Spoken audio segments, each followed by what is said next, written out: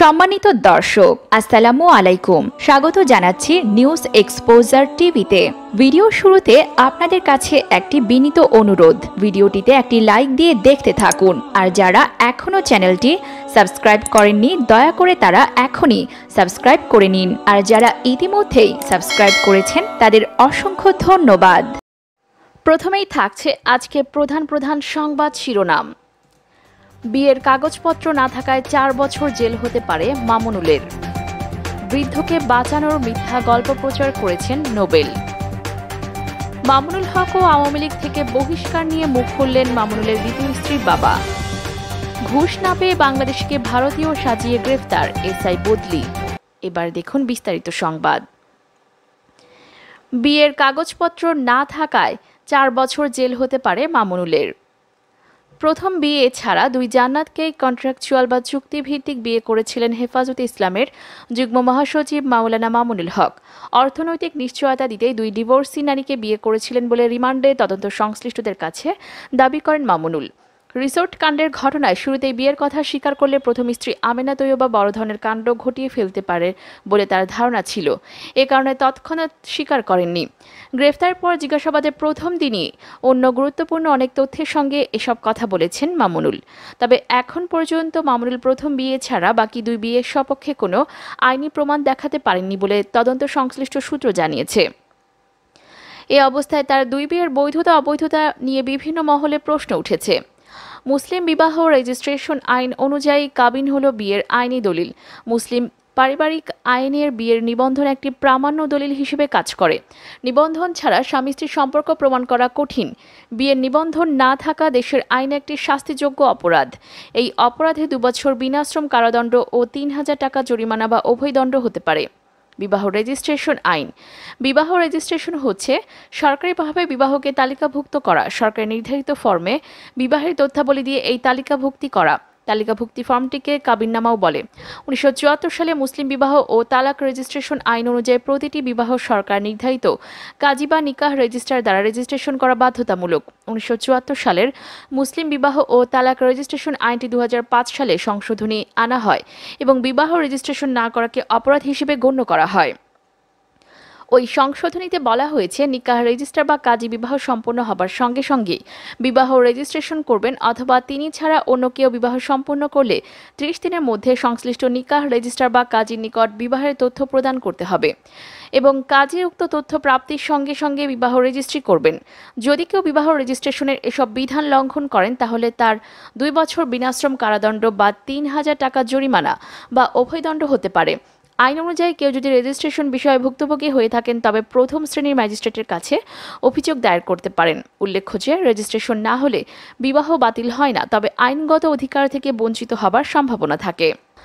আইন বিশেষজ্ঞরা বলছেন, বিবাহ রেজিস্ট্রি আইন অনুযায়ী মাওলানা মামুনুল হকের বিরুদ্ধে তারা চুক্তিভিত্তিক দুই স্ত্রী অধিকার প্রতিষ্ঠিত করার জন্য প্রথম শ্রেণির ম্যাজিস্ট্রেট কোর্টে অভিযোগ দায়ের করতে পারবেন।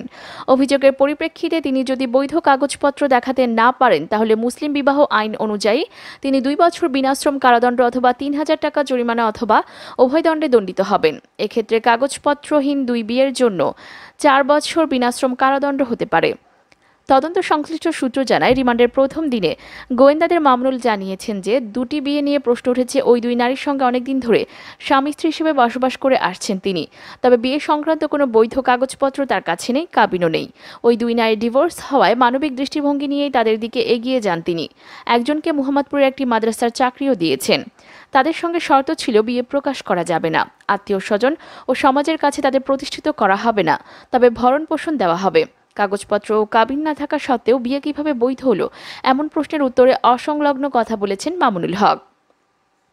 সংশ্লিষ্ট একজন কর্মকর্তা বলেন, এরই মধ্যে তিনি মানসিকভাবে ভেঙে পড়েছেন। ভেতরে বাইরে তিনি দ্বৈত চরিত্রের অধিকারী, এটি প্রকাশ হয়ে যাওয়ার পর থেকে তার মধ্যে হতাশা তৈরি হয়েছে। বিশেষ করে কথিত বিয়ের কাহিনী ফাঁস হওয়ার পর থেকে ঘরে বাইরে চাপে আছেন তিনি। হেফাজতের ভেতরে একটি অংশ তার কর্মকাণ্ড নিয়ে ক্ষুব্ধ। জানা যায়, রিসোর্ট কাণ্ডের পর এসব বিয়ে প্রকাশ পেলে এতে ক্ষিপ্ত হয়ে প্রথম স্ত্রী, তিন সন্তান নিয়ে বাবার বাড়ি চলে যান।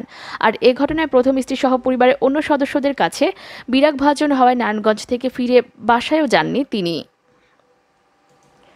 বৃদ্ধকে বাঁচানোর মিথ্যা গল্প প্রচার করেছেন নোবেল।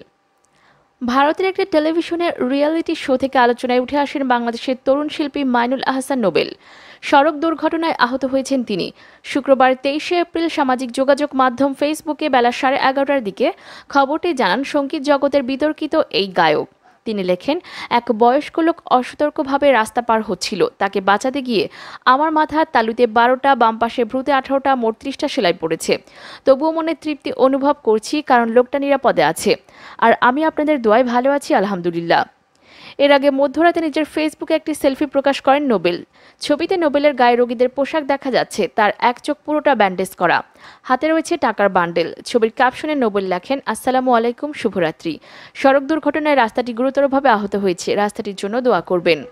কিন্তু এরপরেই সোয়াব বিন আহসান নামে একজন প্রত্যক্ষদর্শী তার ফেসবুক প্রোফাইলে নোবেলের ওই পোস্ট শেয়ার করে তার বিরুদ্ধে মিথ্যাচারের অভিযোগ তোলেন। শোয়েব লিখেছেন, রং সাইডে বাইক চালিয়ে সাইকেল আরোহী রোজাদারের উপর দিয়ে এভাবেই বাইকটা চালাইয়া দিলা। যেখানে লোকটা সারাদিন রোজা রাখার পর ইফতার করে তার ক্ষুধা নিবারণের কথা, সেখানে লোকটা মৃত্যুর সাথে পাঞ্জা লড়ছে। আর তুমি একজন রোজাদারকে মৃত্যু পথযাত্রী বানাইয়া আরেকজন বৃদ্ধকে জীবনদানের গল্প শোনাও। কি সুন্দর মিথ্যাচার করে আবার আল্লাহ শুক্রিয়া আদায় করছে। সেই পোস্টের কমেন্টে তিনি আরও জানান, গতকাল ইফতারের আগ মুহূর্তে একটা লোক সাইকেলে করে কলা, খেজুর, ছোলা মানে ইফতার সামগ্রী নিয়ে যাচ্ছিল। নোবেলম্যান রং সাইড দিয়ে বাইক দিয়ে মেরে দিয়েছে।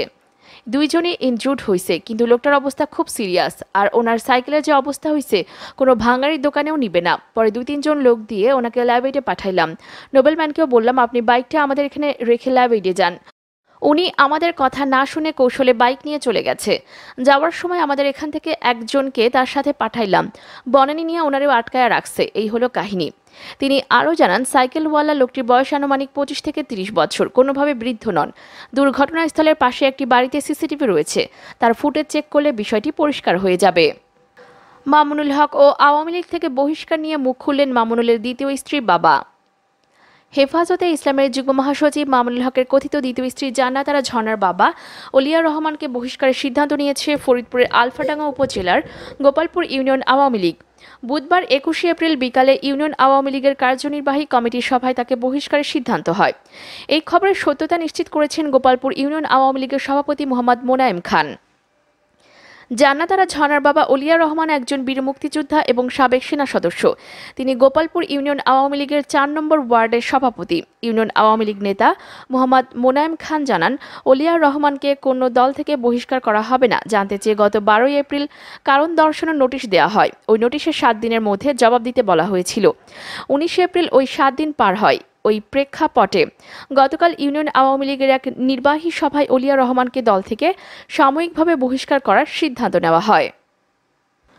মোনায়েম খান আরও বলেন ওলিয়ারের মধ্যে কখনো নিজের দল বাদ দিয়ে অন্য দলের সঙ্গে জড়িত থাকার কোনো প্রমাণ আমরা পাইনি। কিন্তু তিনি সভাপতি থাকলে এবং তার পরিবারের সদস্যরা ভিন্ন আদর্শের হলে দলের গোপন তথ্য ফাঁস হয়ে যাওয়ার আশঙ্কা থাকে। এজন্য তাকে দল থেকে সাময়িকভাবে বহিষ্কারের সিদ্ধান্তও হয়েছে। এছাড়া তার কারণ দর্শনের জবাব দলের হাতে পৌঁছায়নি। ওলিয়ারকে গোপালপুর ইউনিয়ন আওয়ামী লীগের সভাপতি মোহাম্মদ মুনায়েম ও সাধারণ সম্পাদক মোহাম্মদ ফরিদুদ্দিন স্বাক্ষরিত। কারণ দর্শনের নোটিশে বলা হয়, তার মেজ মেয়ে জান্নাতারা ঝর্নার কথিত স্বামী মামুনুল হক উগ্রপন্থী ইসলামী সংগঠনের সঙ্গে জড়িত আর তার স্ত্রী জামায়াতপন্থী। এ ব্যাপারে জানতে চাইলে মোবাইল ব্যবহার না করায় মোহাম্মদ ওলিয়ার রহমানের বক্তব্য জানা যায়নি। তবে তার স্ত্রী শিউলি বেগম বলেন, আমরা আওয়ামী লীগ পরিবারের সদস্য অলিয়া রহমান একজন বীর মুক্তিযোদ্ধা এবং ইউনিয়ন আওয়ামী লীগের নেতা, তাকে নিয়ে সন্দেহ করার সুযোগ নেই। আমার মেয়েকে বিয়ে করে মামুনুল হক ঢাকাতেই থাকে এটুকু জানি। তারপর আর বিয়ে করেছে কিনা জানি না। ঘুষ না পেয়ে বাংলাদেশিকে ভারতীয় সাজিয়ে গ্রেফতার, এসআই বদলি।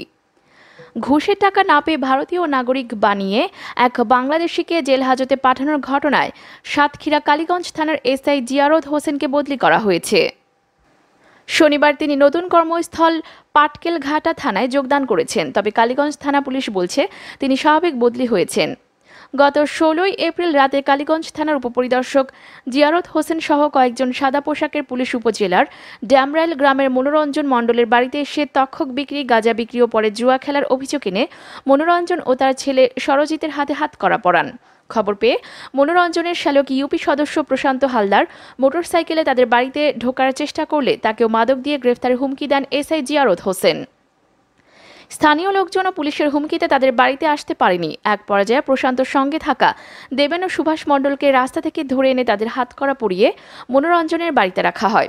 ওই বাড়িতে বেড়াতে আসা আত্মীয় শ্যামনগরের কাছার হাটি গ্রামের কমলেশ মণ্ডলকে ঘর থেকে বের করে নানা প্রশ্নবাণে জর্জরিত করে পুলিশ। এ সময় মনোরঞ্জনকে ছেড়ে দেওয়া হয়। চারজনকে ছেড়ে দিতে মেম্বার প্রশান্ত হালদারের কাছে এক লাখ টাকা দাবি করেন। উপপরিদর্শক জিয়ারত হোসেন। টাকা দিতে রাজি না হয়, মেম্বারের মোটরসাইকেল সহ জিয়ারত আলী, সরজিৎ, কমলেশ দেবেন ও সুভাষকে থানায় নিয়ে যান। পরের দিন সকালে আশি হাজার টাকার বিনিময়ে প্রশান্ত মেম্বরের মোটরসাইকেল সহ তিনজনকে ছেড়ে দেওয়া হয়। কমলেশের স্মার্ট কার্ড নিয়ে পুলিশ পরিদর্শক মিজানুর রহমান উপপরিদর্শক জিয়ারত আলীকে দেখালেও বিশ হাজার টাকা দিতে না পারায় কমলেশকে ভারতীয় নাগরিক বানিয়ে শনিবার মামলা দিয়ে জেলে পাঠায় পুলিশ। পরে পনেরো হাজার টাকা দিয়ে কমলেশকে দুর্বল ধারায় চার্জশিট দেবেন বলে জানান মামলার তদন্ত কর্মকর্তা জিয়ারত হোসেন। গত বৃহস্পতিবার কমলেশ বিচারিক হাকিম আদালত থেকে জামিনে মুক্তি পান। এরপরই উপপরিদর্শক জিয়ারত হোসেনকে স্ট্যান্ড রিলিজ করা হয়। তবে উপপরিদর্শক জিয়ারত বলেন, কোনো অনিয়ম দুর্নীতির কারণ নয়। বেশি দিন কালীগঞ্জ থানায় থাকায় তাকে স্বাভাবিক নিয়মে বদলি করা হয়েছে। জানতে চাইলে শনিবার সকালে কালীগঞ্জ থানার ভারপ্রাপ্ত কর্মকর্তা দেলোয়ার হোসেন জানান, স্ট্যান্ড রিলিজ নয়। জিয়ারত হোসেনকে স্বাভাবিক বদলি করা হয়েছে, তবে তার বিরুদ্ধে ড্যামরাইলের ঘটনার তদন্ত চলছে। আমাদের এখনকার সংবাদ এ পর্যন্তই। পরবর্তী সংবাদ দেখতে চাইলে আমাদের চ্যানেলটি যদি সাবস্ক্রাইব না করে থাকেন, তাহলে এখনই সাবস্ক্রাইব করে ফেলুন। সঙ্গে থাকার জন্য ধন্যবাদ সবাইকে। এরকম আরও অনেক ভিডিও পেতে নিউজ এক্সপোজার টিভির সাথেই থাকুন, চ্যানেলটি সাবস্ক্রাইব করুন এবং সাথে বেল আইকনটি বাজিয়ে দিন। আসসালামু আলাইকুম।